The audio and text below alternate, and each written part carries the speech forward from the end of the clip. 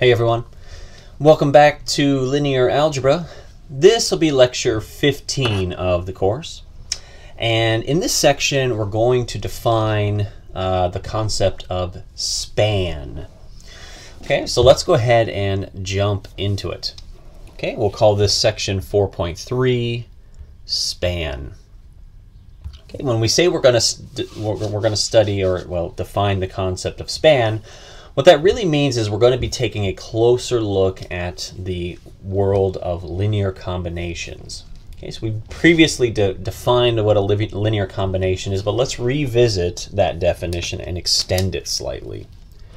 Okay, so definition. Um, let's let S be a non-empty,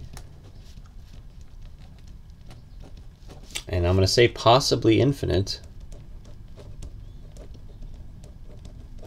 Okay, a non-empty, possibly infinite subset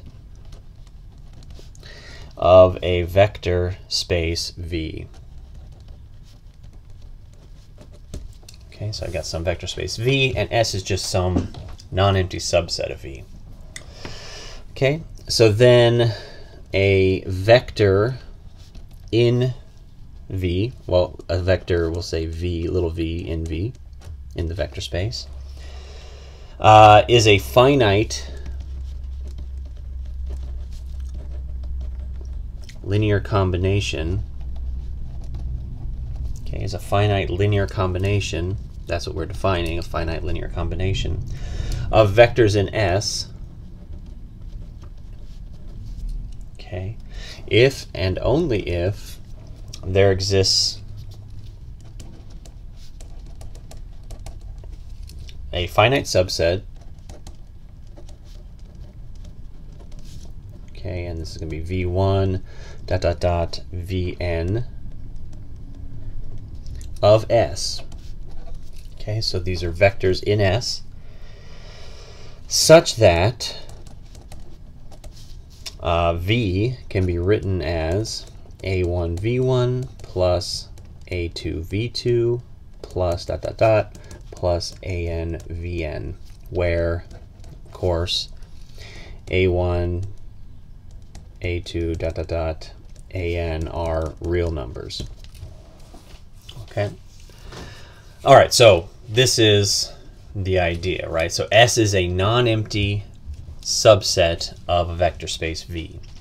Okay, now if your V is some vector in the vector space, then it's a linear combination of the vectors in S if and only if I can find some vectors v1 through vn that are inside this subset and I can find some scalars, you know, real number scalars, such that v can be written as a linear combination like this. Okay. Right, so this, I mean, so we, we previously defined linear combinations, but this extends the concept of linear combination uh, somewhat to include the possibility of forming sums of scalar multiples from infinite as well as finite sets. Okay, sets being the key, right? We didn't really, we didn't really talk about uh, finite linear combinations inside of a vector space coming out of a particular subset. This is a simple extension of of the idea, right? To specify that the vectors uh, come out of the subset and that the, the, the, linear combination can be finite, as we've written here, or possibly infinite. Okay. All right, but what we'll be interested in is the finite linear combinations, okay, for this, for this discussion. Okay, and so just a simple example, just to make sure we're clear on this. Okay, a simple example. Um, let's consider uh, the set S of vectors and I'll just write them 1, negative 1, 0, 1, 0, 2, and 0, negative 2, 5. Okay, this is our, obviously S is a subset of R3, right? Okay. Well, then the vector 1, negative 2, 2, 1, negative 2, negative 2, is going to be a linear combination of the vectors in S.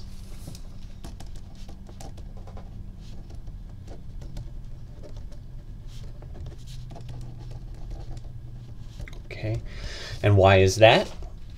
Well, because it's possible for me to identify scalars a, b, and c such that a times this plus b times this plus c times this is equal to the given vector. In particular, I could say 1, negative 2, negative 2 is equal to 2 times 1, negative 1, 0 plus negative 1 times 1, 0, 2 plus 0 times 0, negative 2, 5.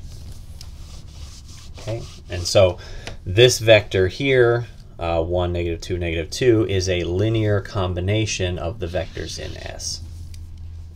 Okay. All right, and so we can see also from this example that any vector that can be formed from a subset of S can be formed from all of S by using 0 as a scalar. All right, so in this case we use 0 as uh, the scalar for this third vector because it wasn't technically needed to form this vector. We could just use the first two vectors of S. Right, the third one wasn't needed, but we could put that zero coefficient, or sorry, that zero scalar uh, on that vector uh, if we wanted to include it. Okay. Okay, so let's do another example. Let's say we let s equal just a single vector, 1, negative 2, 7. Uh, and this is obviously a subset of R3. Again. All right, now what are, what are the linear combinations of the vectors in S going to look like in this case? All right, well, the only linear combinations of S are basically scalar multiples of this singleton vector.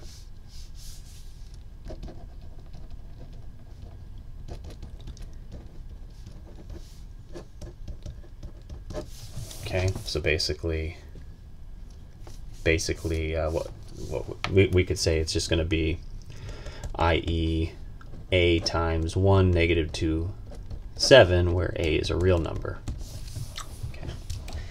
right? So in the case of a single of a subset of you know that is a, just a singleton vectors, this makes sense. You know the uh, the, the collection of all linear combinations of the singleton vector is just going to be the scalar multiples of the vector.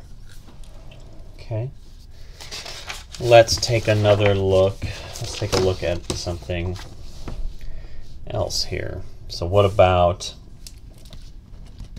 this example? Let's let S equal U2 or L2. Okay, now U2 here is the upper triangular 2 by 2 matrices, and L2 is the lower triangular 2 by 2 matrices. So let me write that down. U2 is the upper triangular 2 by 2s. L2 is the lower triangular two by twos. Okay. Um, and so these are obviously, each of these are, you know, U2 and L2 are each infinite subsets of M22, and so S itself, which is the union of these two sub of these two types of matrices, is an infinite subset of M22. So S equal to U2 or L2, this is a subset of M22, right? These are just the two by two matrices. Okay, so then let's let A equal 2, 3, negative 1, and 1 half. Okay, then A is a linear combination of the elements of S.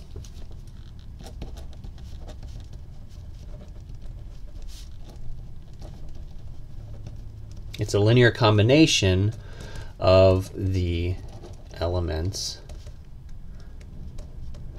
of S. Now, why is that? Well, I mean, if I if I say that A is a linear combination of the elements of S, that means I need to be able to form A using a linear combination of either uh, an upper plus a lower or multiple uppers or multiple lowers, whatever the case may be. Um, but what we can see is that it's going to take one of each, isn't it? Because this is not an upper triangular, it's not a lower triangular. The only way to get to this is to use at least one of each. So in particular, we can see that a equal to 2, 3, negative 1, 1 half can be written as 1 half of 4, 6, 0, 1 plus negative 1 times 0, 0, 1, 0. Right, now this guy here, this is in U2, right? It's an upper triangular. And this one over here is a matrix in the lower triangular. Okay. So this is one way to write A as a linear combination of S, of elements of S. Okay, but there are obviously many other ways to do this.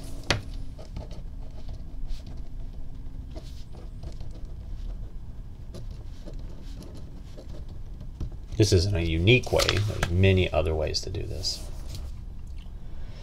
Here's kind of a, a nice way to think about it.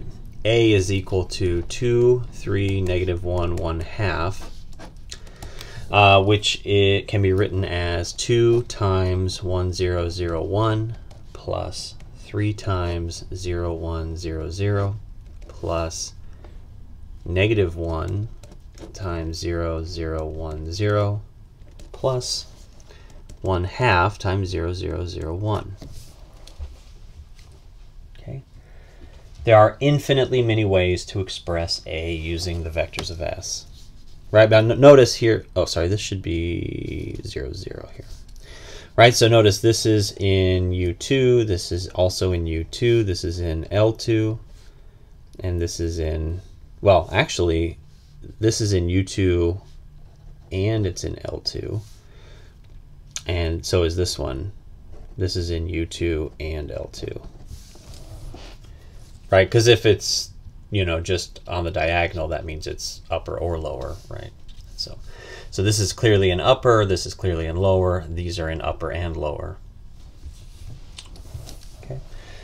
All right, so these are just motivating examples for the discussion of what is to be defined next, uh, the span. Okay, so let's jump into the span. Let's define what we mean by the span. And obviously the span is going to rely heavily on this idea of linear combinations. Okay, and so here's the definition. Let's let S be a non-empty subset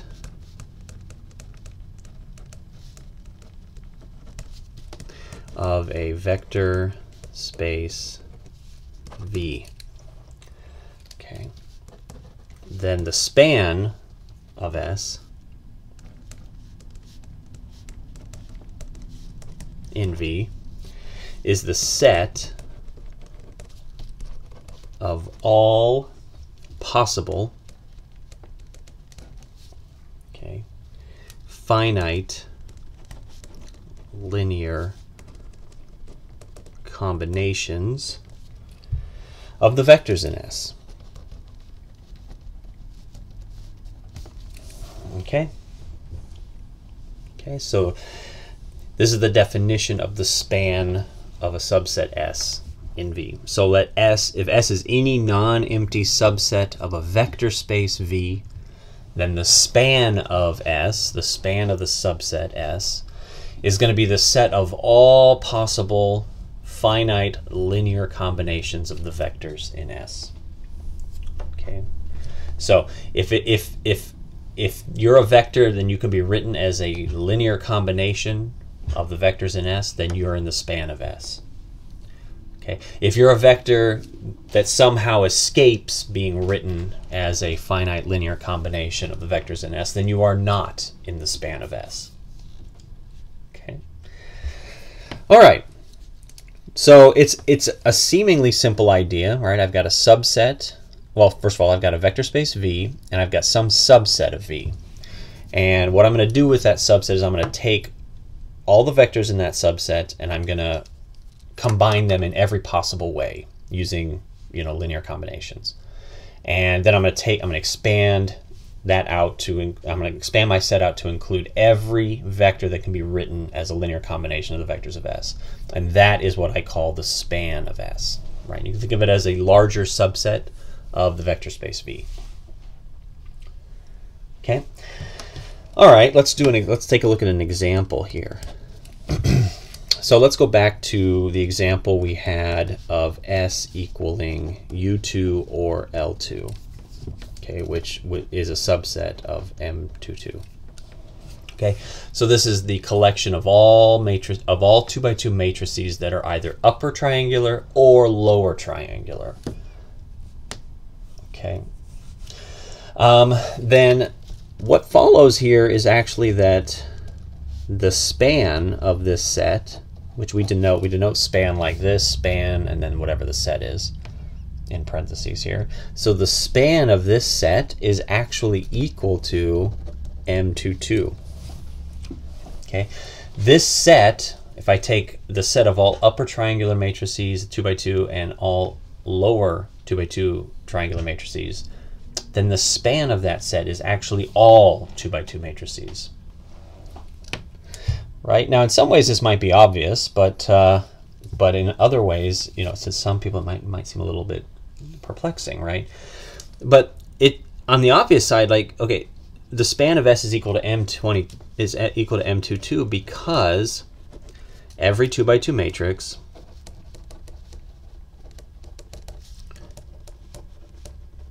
can be written as a finite linear combination.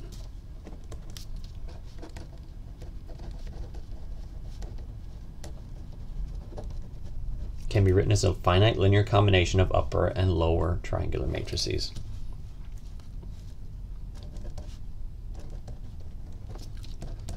Right, and then we already kind of saw how this works in the previous example. Right, the previous example, we sort of fleshed this out. Right, if I have some 2 by 2 matrix ABCD, then I can definitely write it as a linear combination of upper and lower triangular matrices just by using the following. A times 1, 0, 0, 0 plus B times 0, 1, 0, 0 plus C times 0, 0, 1, 0 plus D times 0, 0, 0, 1. Right, and we saw that this one is in U2, this one is in L2. This guy and this guy are in both.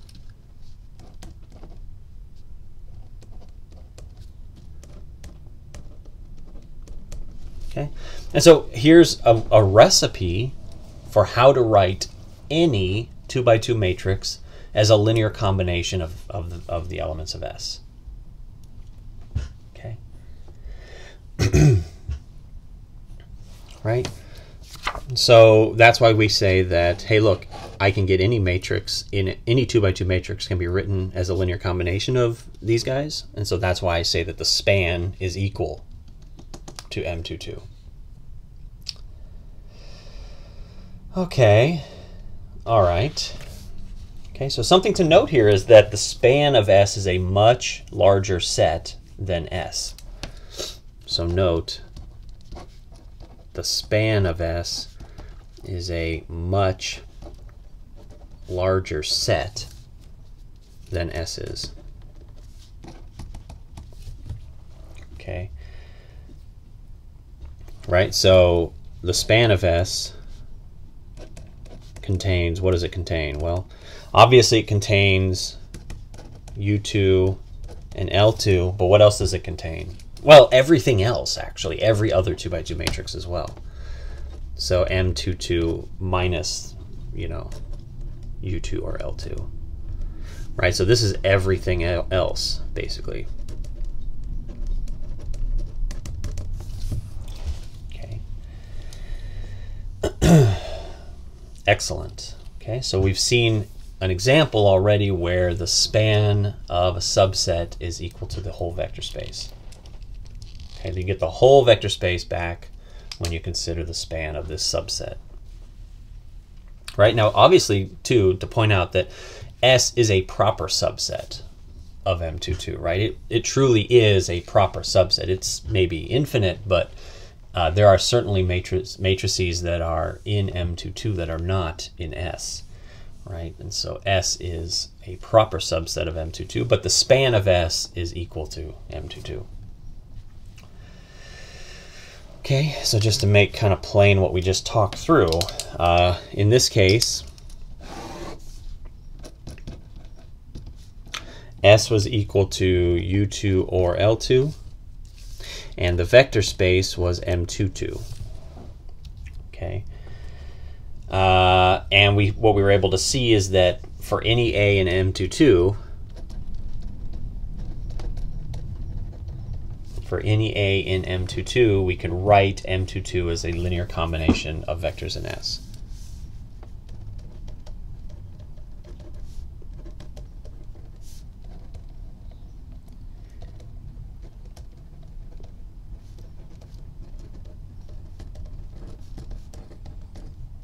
Okay, right. And so that's why we are able to say that the span of S is equal to M22. Okay, and then and when this occurs, when a vector space is uh, equal to the span of some subset, we say that M22 in this case is spanned by S. Okay, so we say that M M22 is spanned by S.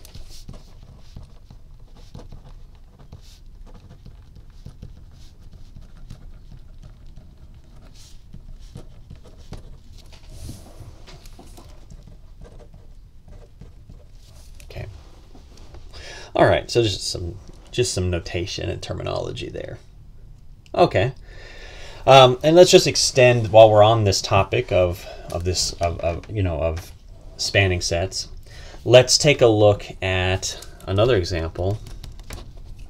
Um, we can see that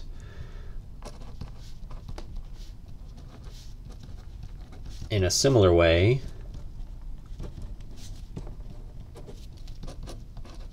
R3 is going to be spanned by the set S equal to I, J, K. Okay, right? This is going to work almost exactly the same way. We can, you know, so R3 is the set of, of three vectors, of three component vectors, and it's spanned by S, where S is equal to the first, second, and third uh, uh, ijk vectors. Okay, and so we can see that R3 is spanned by this because if V is equal to any ABC vector in R3,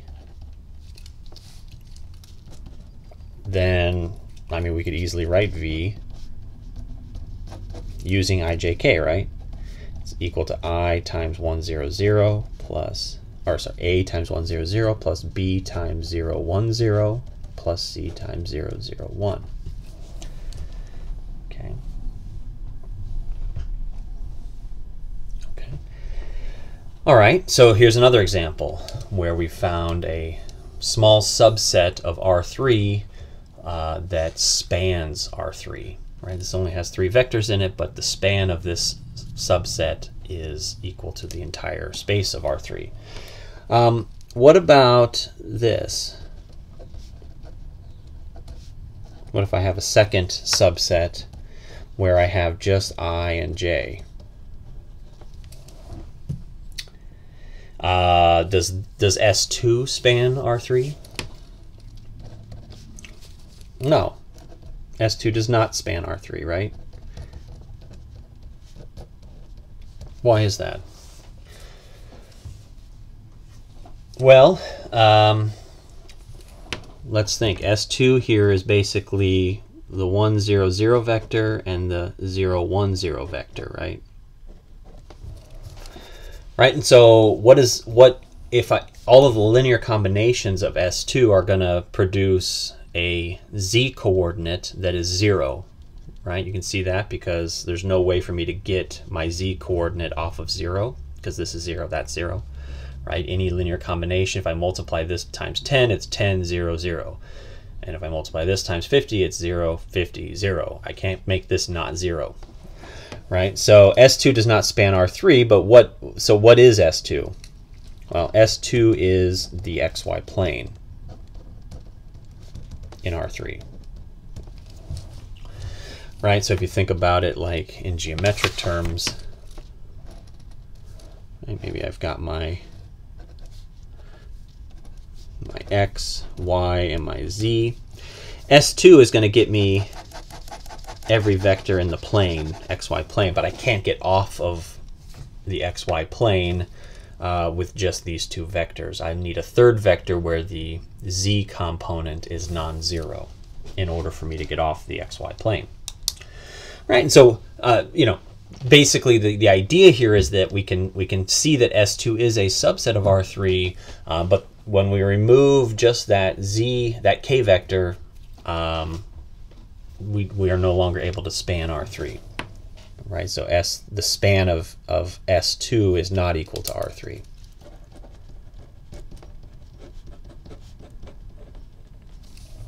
Okay. All right.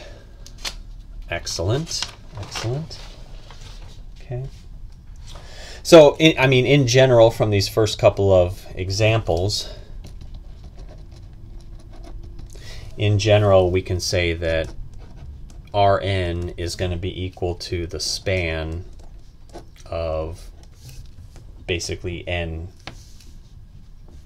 vectors like n, so e1, e2, dot, dot, dot, en. Right, if I take these n vectors, then uh, the span of, of those n vectors is naturally going to be equal to Rn. Right? We just saw two examples of that. Okay. All right, perfect. So we've defined span. We've looked at a few examples of what the span, of, of how the span can fit into a larger vector space. Now let's go ahead and jump into the big theorem of, of the section. Okay, and that's this guy. Okay, we're going to let S be a non-empty subset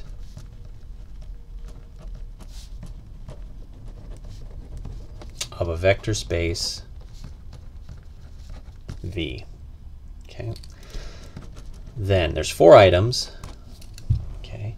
So first of all, S the subset of V is itself a subset of the span of S.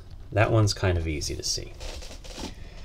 Right, the span of S is obviously built on all the linear combinations of S, uh, and so obviously anything in S is going to remain inside the span. Okay, we'll prove these in a moment though.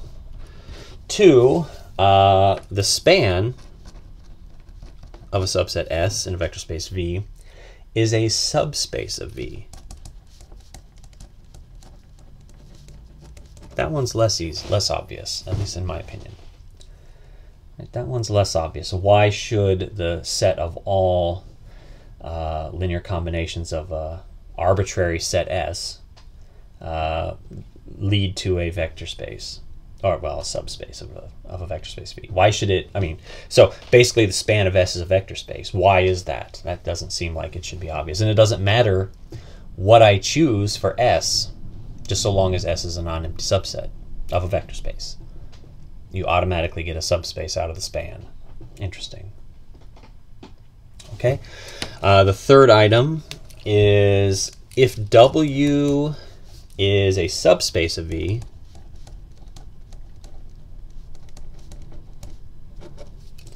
Okay, if W is a subspace of V with S a subset of the subspace W, then the span of S is a subset of W. Okay, this one seems a little convoluted. We'll come back to this when we get to the proof. Right, we'll draw a picture to show why this is actually not as complicated as it seems. And then finally, the span of S is the smallest subspace of V containing S. Okay, so the span of S is going to be the smallest subspace of V containing S. So that's kind of a big statement right? So if I have some arbitrary set of vectors S inside of a vector space V, and I want to know what the smallest subspace of V containing those vectors happens to be, well, I, I can rest assured that the span of S is, is the smallest. So that's interesting. Okay, let's prove these. This will take a minute, but it'll be worth it. Okay, we're just going to prove them one by one and in order. So item one, okay, so here we want to prove that S is a subset of the span. Okay, now this one's fairly easy. Let's let W be a vector in S. Okay, so W is a vector in S. I, it's a it's a it's a vector in your in your subset S. Well, then we know that W is equal to 1 times W, right? Right? Uh, we know that's true. And so this is a sum of scalar multiples, right?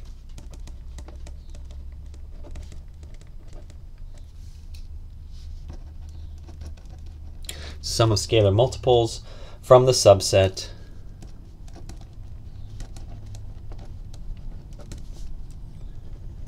W of S, right? So if I think of S and I think of a, of a, of a subset of S being just this singleton vector W, then I what I can see is that the fact that W is in S and W is equal to 1 times W, I have created a sum of a scalar multiple from this subset. Okay, so then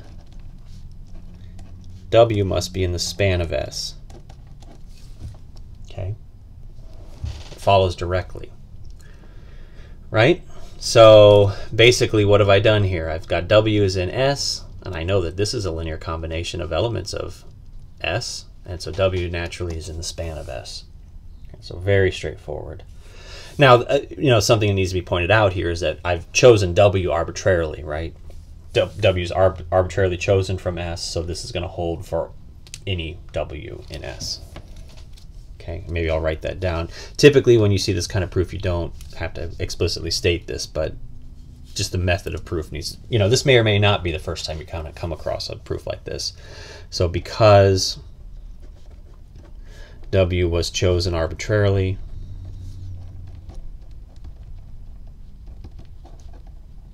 from S, this holds for all W in S. Okay, okay so that one is obvious. I thought that was kind of obvious. So W is a, if W is an element of S, then it's naturally going to be in the sub, eh, or it's naturally going to be in the span of S. Okay. Number two, what we need to show is that the span of S is a subspace of V. Okay, so this one is going to require a little more effort. Now the span of S is non-empty because S is non-empty, and we just showed by one that that uh, anything in S is in the span of S. So span of S is non-empty, and so what we need to show is that it's closed.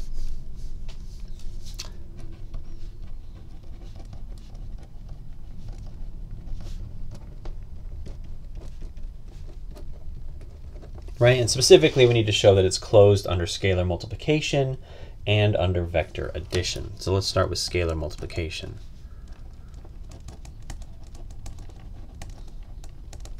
Okay, we'll start with scalar multiplication. So let's go ahead and let v be a vector in the span of S. Okay, and we'll let c be a real number. Okay, so then what happens? Well, v uh, if it's in the span of S, can be written as A1V1 plus dot dot dot plus ANVN. Right? It's going to be possible to write uh, V as a linear combination of V1 through Vn, where V1 through Vn are assumed to be vectors in S. Okay. Right? So this is just kind of the definition of the span so far. Okay. And so then let's consider C times V. Well, C times V would be equal to C times A1V1 plus dot dot dot plus ANVN. Right, that's just, you know, properties of scalar multiplication, no problem. And I can distribute the C, right? So this is going to be equal to CA1 V1 plus dot dot dot plus CAN VN, right? And these are all, this is just a scalar times a scalar, right? So I just get a new scalar, don't I? Right? So, so obviously c times a1 is a scalar, it's a real number. c times an is a scalar, it's a real number. v1 through vn, those are still just vectors in S, right? And so that means this guy here is in the span of S as well, right? The only thing required for a vector to be in the span is that it can be written as a linear combination of the other vectors in S of all the vectors in, of any of the vectors in S, right? In this case, v1 through vn are taken to be vectors in S, and so I can see that multiplying by a constant keeps me in the span of S. Okay, let's do a similar kind of demonstration for vector addition.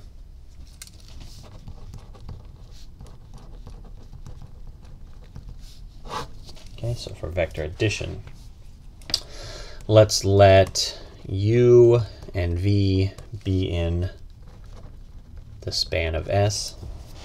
Okay, so then what does that mean? Well, that means u can be written as a1u1 plus dot dot dot plus ak uk, right?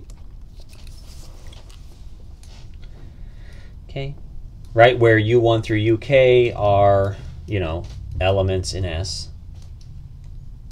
Okay. Let me write that. U1, UK vectors are in S. And then V also similarly. Now, I'm going to use a different notation here just to emphasize that U and V could come, they could em employ different vectors inside of S. They may not be the same vectors, right? So I'm going to write it using you know, different notation altogether. I'm going to write b1 v1 plus dot dot dot plus, uh, and maybe there are different number of vectors too, so bl vl. But the key thing here to notice is that v1 dot dot dot vl is also a subset of S, right? So the, the fact that I'm using different notation here for the vectors just means that U may rely on one part of S and V may rely on a totally separate part of S, right? But they both are coming out of S. That's the key. Okay, so there may be a misalignment of these vectors. Okay, so what I'm going to do is I'm just going to take these and I'm going to join them together. Right, I'm going to think of an another set X, which is going to be the subset U1 through UK of vectors and I'm going to union that with this other subset of v vectors, v1 through vl. Right now, this subset x is itself a subset of s. Right? I've I haven't, you know, I haven't gone outside of s yet. Right? So recap, u and v are in the span of s. That means there's going to be some vectors u1 through uk in s that I can write u as a linear combination of. V in the span of S means there's going to be some vectors V1 through VL inside the set S that I can write, so such that I can write V as a linear combination of them. Now all I've done is say, hey, there's a lot of mismatch between these vectors, so let's get let's gather all the relevant vectors together into a subset X of S. Okay. Now I'm just going to rename. I'm going to rename the elements of X.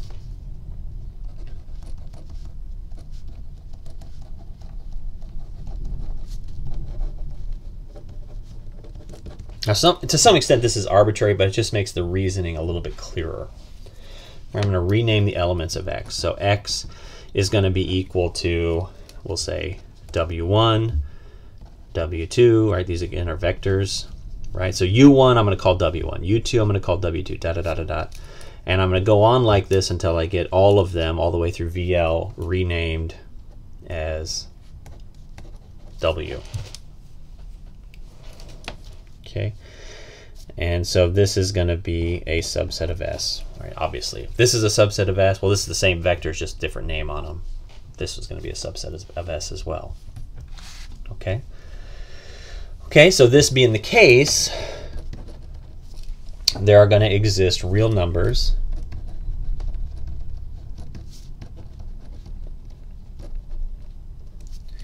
c1 dot dot dot cm and d1 dot dot dot dm such that u uh, is equal to c1 w1 plus dot dot dot plus cm wm and v is equal to d1 w1 plus dot dot dot plus dm wm. So basically I'm going to take the elements of my new set x and I'm just going to, you know, uh, re-express u using those elements.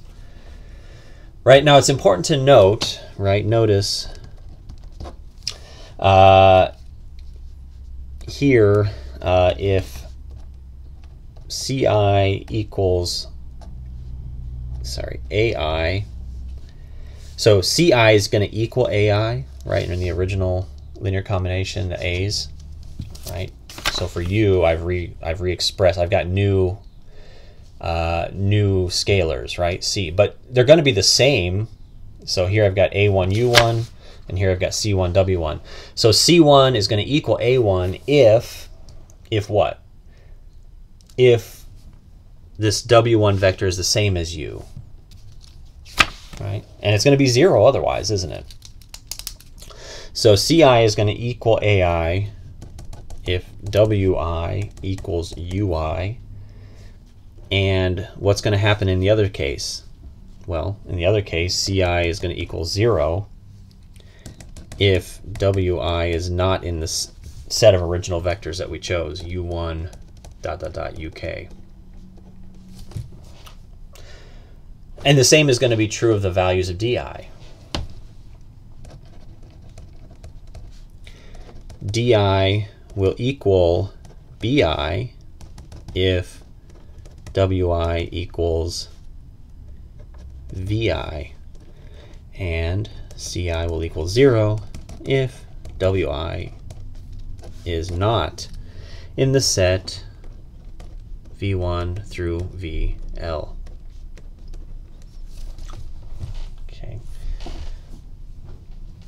Okay. Right, so basically I'm going to have the, the same scalars as before as well. But in addition, I'll have a bunch of zero scalars, right, in these new combinations. Right, because some of the vectors that I'm using here for u, for example, some of these are vectors that are relevant only to v. And in those cases, I'll just make I'll just make the scalars equal to zero. No problem. And all the vectors that are relevant to u originally are the same, so all the scalars will be the same. Right? So I've just renamed things. Okay. And so we can kind of sum all this up by saying the following. u plus v is going to be equal to the sum from i equals 1 to m of ciwi plus the sum from i equals m i equals 1 to m of DIWI. Okay, which is equal to the sum from i equals 1 up to m of ci plus di, because those are the scalars up front, times wi. Okay, and so u plus v is a linear combination. So u plus v is a linear combination of the element in X, which is a subset of S. Okay. Okay, and that's obviously going to imply that U plus V is in the span of S. Okay. So if you can be written as a linear combination of a subset of another set, then you're obviously in the span of the larger set. Okay, and then we've we've shown closure under scalar multiplication and under vector addition. And so that means that the span of S is a subspace of V.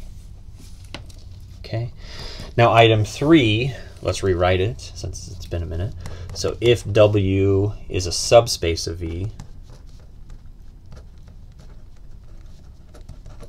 if W is a subspace of V with S a subset of W, then the span of S must be a subset of W. Okay, now this one seems kind of wordy and difficult, but I think if we draw a picture, this will be really clear. And, and the picture can kind of serve as the proof. Okay, so let's start by drawing our vector space V. Okay, and so if W is a subspace of V, we can just kind of draw it in here underneath, right? So W is a subspace of V. Okay. now S is some subset in W, so let's write, you know, some subset S. Okay. And so the conclusion is that the span of S is a subset of W, right? That it's going to look like this. Okay. So if we were to try to draw this same picture, right, so this is the span of S. If we were to draw, try to draw the same picture, but to say that the span of S is not a subset of W, let's see what it looks like. Let's see how let's see how weird it gets. It'll kind of create a little bit of a paradox here. Kind of a proof by contradiction by just drawing the wrong picture. So I've got V, and let's say I draw my W in here, and I'm going to make it a little bit smaller because we're going to step outside of W. Right, so I've got my subspace W inside of my vector space V. This is fine. Now inside of W, I've got some subset S. Okay. Now let's imagine for a second that the span of S is not a subset of W. So what that means is that the span of S is going to somehow get outside of W. Does this work? Well, there's a couple. There's well, there's one really glaring problem with this, right? Now, if I'm a vector inside of S, then I'm also a vector inside of W, and so linear combinations are really just scalar multiplication and vector addition kind of combined. And we know that any vector inside of W that's subjected to uh, you know, vector addition or scalar multiplication has to stay inside of W. So how in the world am I ever going to get over, over here? I can't get over here, can I? That would violate W's, W being a subspace.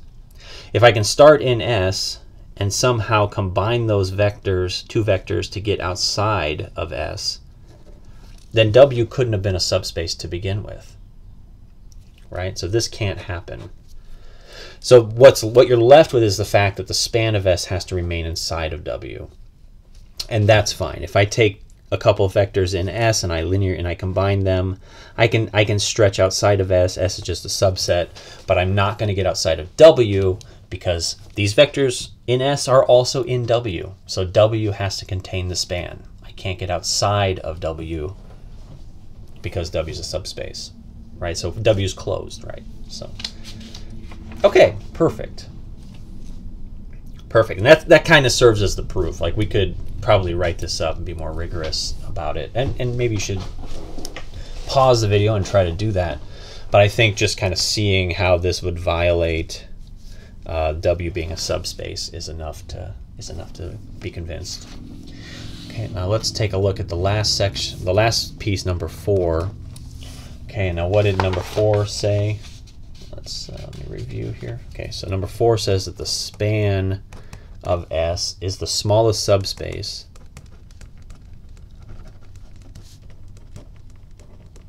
It's the smallest subspace of V containing S. Did that again. Okay. So the span of S is the smallest subspace of V containing S. Okay, so to see this, consider, right? So basically, this just kind of, this statement is really a recap of 1, 2, and 3, right? So what did 1 and 2 show us? Okay, 1 and 2 showed that the span of S is a subspace of V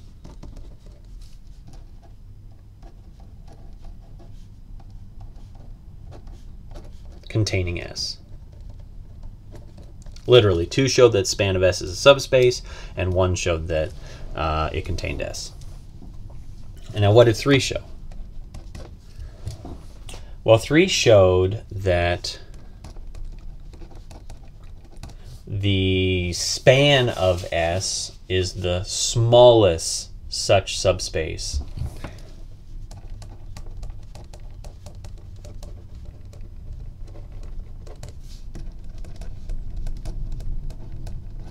It's the smallest su such subspace.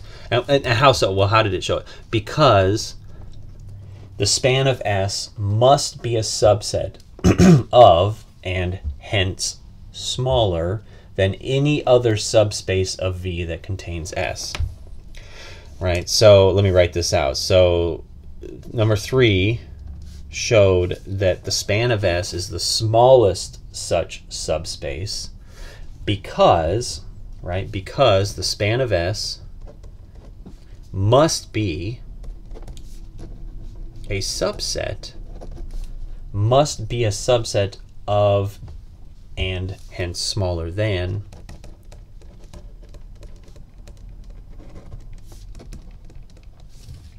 any other subspace of V.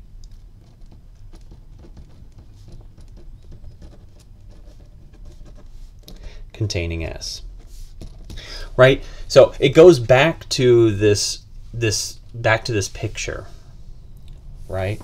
So the span of S must be a subset of and hence smaller than any other subspace of V that contains S, right? So you could just imagine drawing another subspace in here between W and the span, right? So if I start with my V, then I've got my W.